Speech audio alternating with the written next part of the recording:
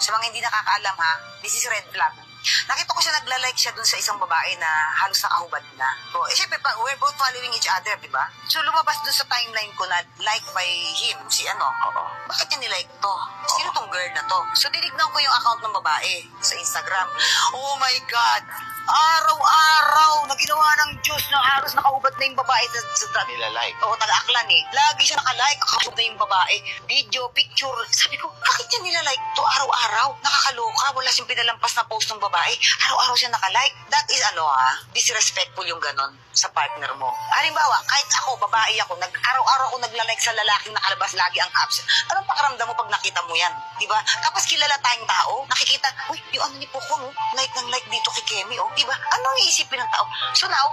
sinita ko siya.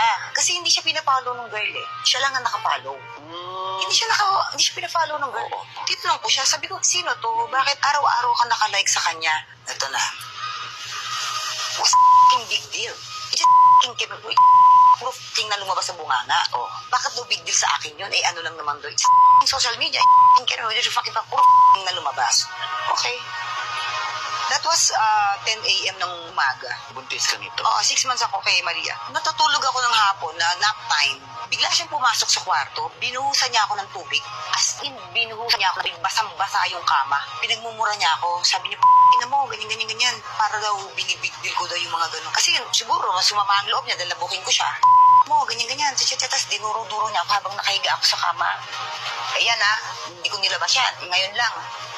Kaya isa to sa mga bawsi na sampa ko sa kanya. Pag bumalik dito sa Pilipinas yan, bawsi yan eh. Tapos nun, di, Binuhusan ka ng tubig. basang-basa ako, Mars. Pati yung kama ko, basang-basa. Galit na Walang kaabog-abog. Wala, nagulat ako. Walang kaabog-abog. Pumasok siya sa CR. Paglabas niya, may dala-dala na siya binuhusan niya akong ganun. Ina mo Tang na mo. Ano reaction mo nun? Di syempre na. Gumanti ka ba? o- oh? Na, Mars, maselan yung lagay ko. Oo nga, actually. Di ba, alam mo yan, maselan Oo. yung pagbubuntis ko kasi edad ko nun, ah, 45. Hmm. So, maselan na, di ba? Sa galit ko, kesa mag-abang-abot kami, nakakatawa, bahay ko yun, di ba? Akong lumaya stay. Stay sa isang motel dyan sa, sa overlooking, sa Cloud9. Pero hindi ako hinanap. Oo. Usa ako umuwi kasi nagtata si Maymay, during that time si Maymay nag-internship sa Europe. Nagtataka si Maymay, asan ka ba? Bakit ganyan-ganyan? So, umuwi na lang ako kasi baka makahalata yung bata. Ayoko nag-aalala yung anak ko, nasa malayo siya eh, di ba? Umuwi ako, ni, ni, never ako hinanap niyan. Never ako hinanap. Talaga? Tinatanong ko yung mga katulong, kumusta kayo dyan, ganyan, ganyan, ganyan. Eh, ito yung isa, wala lang, exercise, exercise lang. Hinanap ba ako? Hindi po. Tapos nun, ilang beses ako nag-bleed dahil sa stress. Ilang beses na muntik malaglag si Malia. Tinago mo sa amin. Tinago ko talaga yan. Tinago ko yan. Binild up mo sa amin Yes. sa ipapang.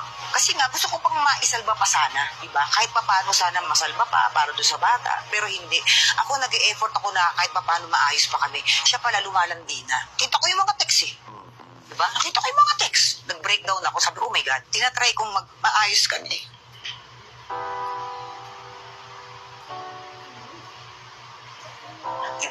Ko pang masalba para kay Maria. Ako na lang pala yung nag-e-effort.